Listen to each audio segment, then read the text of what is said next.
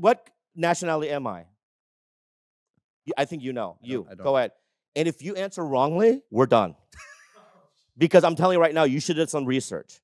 Because I'm a guest. So what nationality am I? My guess based on overall skeletal structure and skin tone, Yeah, hair, yeah.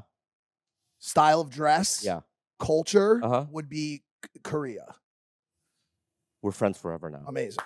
Wow.